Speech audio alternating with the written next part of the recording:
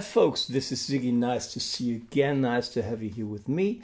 Today with an old classic by the Stones called Honky Tonk Woman. And uh, well, this is an arrangement that I learned some 300 years ago for standard tuning. And uh, a lot of the real Stones fan they complain why not do it in the original open G but maybe you're a guitarist in a top 40 band or whatever and you don't have uh, 27 guitars and you don't want to change and to tune a lot you can use this maybe and um, I think it is quite an interesting arrangement. Let us go into details here.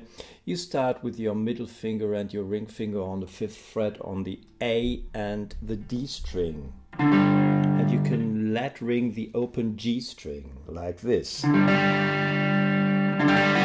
So three, not like that, four, but three strings ring.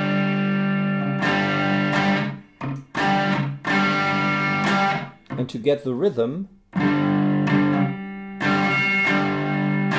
you play this rhythm. But to get the effect, yeah, it's all a question of muting the strings. So when I strike down, when I have two beats, I press my palm down on the strings. Not press, but slightly touch the strings.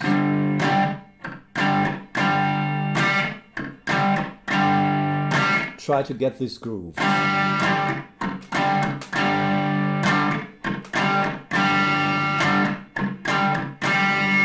Try to let your body rock in case it does not or the body doesn't rock. He, um, then, well, something is not okay because what you want to create is a feeling that when you play in front of an audience, the people immediately have to feel the rhythm and uh, you can see how people start to move their bodies if you really rock, yeah? Like that. Then we go into the main riff. I play it like this. I put my first finger on the second fret of the G string, the middle finger on the third fret of the B string. And then I play these two strings and hammer on with my ring finger the fourth fret of the G string, which sounds like this. Go back, and then I use my pinky, my little finger here, for the fifth fret of the D string. Yeah.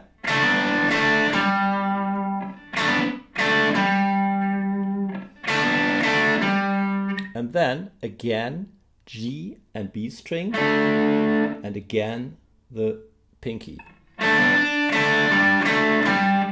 This is the first part of the riff. And the rest goes like this.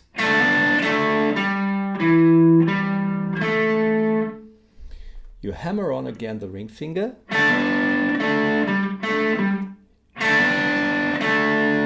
Go back to the beginning with the G and B string and play with your pinky. Now the first finger goes to the second fret of the D string, back to the fifth, and the first finger is on the second fret of the G string. Once again this riff, slowly, try to follow it.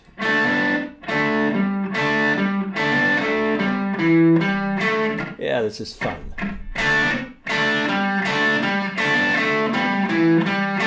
Again, you have to get a feeling for the right hand to mute here and there. It is really difficult to explain it step by step in, at, in every millisecond, yeah, but um,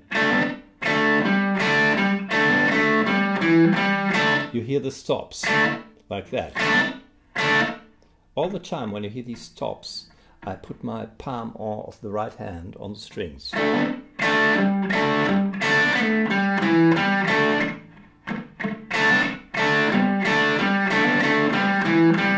and it is important that you have fun with each section of this song with all the little riffs, the parts.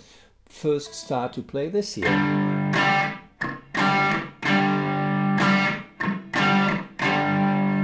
Once you have the rhythm, you go on yeah, and dip into the riff here.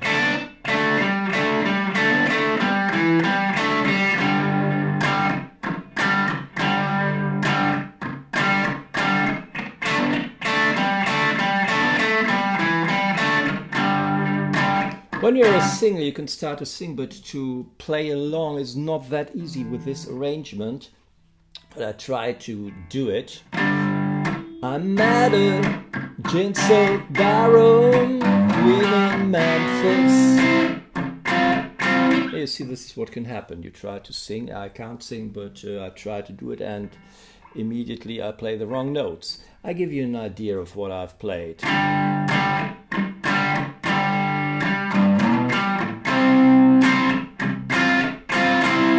So I'm at a gin soaked barroom queen. You play the beginning with the middle finger and the ring finger on the fifth fret.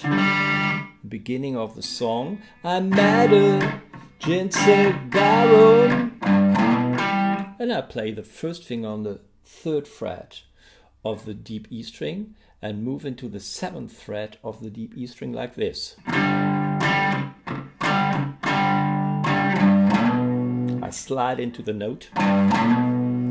And then the fifth fret on the D string is a G. I play that. Once again.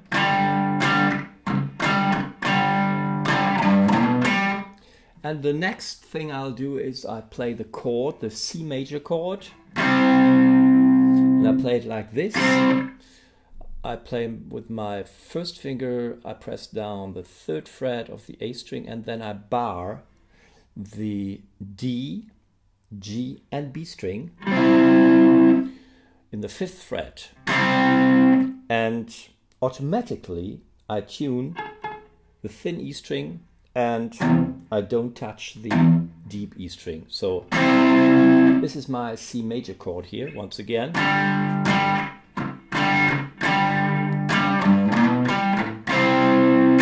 Then I can use my pinky here to play this accent.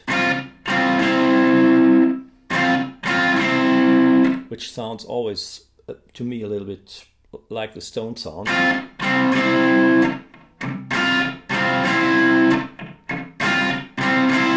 Ah, this is really classic rock. Once again, I'm a oh gin soaked barroom, in Memphis, and then I have a kind of fill in.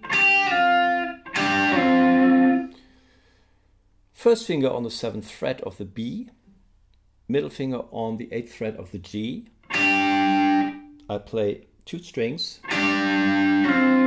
slide down into with my middle with my first finger into the fifth fret of the G.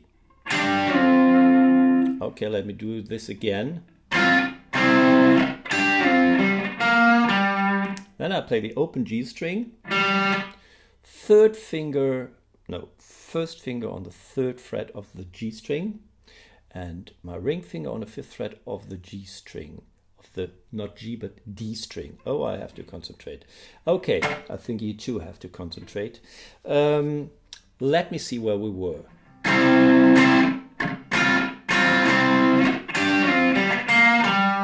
Okay, from the beginning.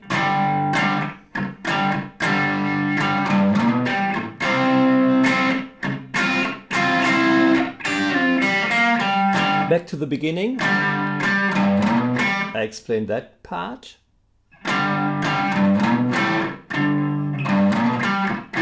Then we go to the A major, which I play with my first finger and I bar it here.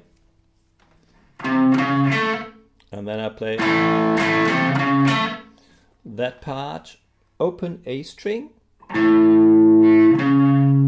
ring finger on the fourth fret of the A string and the first finger on the second fret of the G string. Let's start again with the with the verse. I'm a Jinso uh, Baron, Queen in Memphis. Mr. Phil, she tried to leave me upstairs for a ride. The ride is the D major. We had the C major. Then now we play the D major. And again the four, the fourth of the chord. She tried to leave me upstairs. Oh, no, no. Da da da da ba ba. I don't know the uh, words. Da da. Um, da. She da da da da ba ba ba ba. Go here back to the beginning, and before the chorus starts, I play this little riff here something like that. But let me do the verse again slowly so that you can follow it. I hope you can follow it. Play slowly as slowly as I can.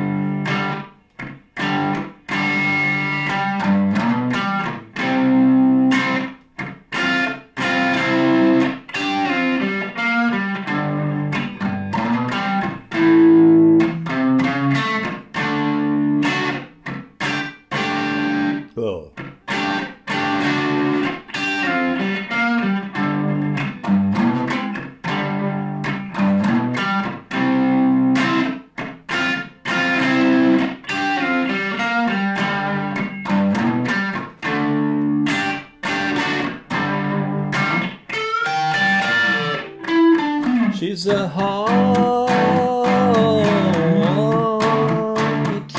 woman.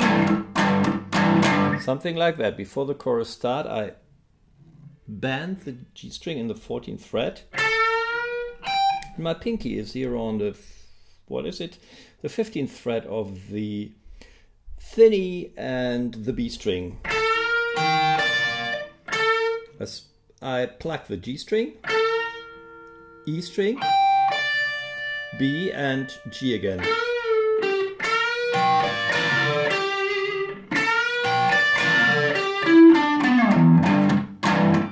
Yeah, and then I play as many notes so that I'm on the one when the chorus starts, yeah? You know this little riff?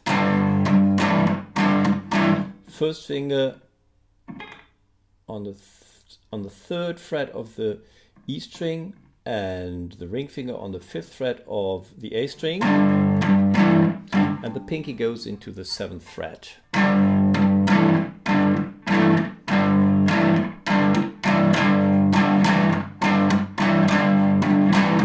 She's a woman.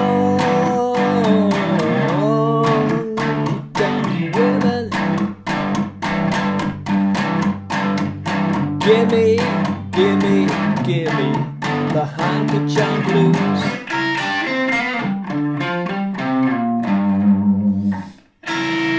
This is a seventh chord, but I only play the two notes on the top. Ring finger on the fifth fret of the B, pinky on the sixth fret of the E string.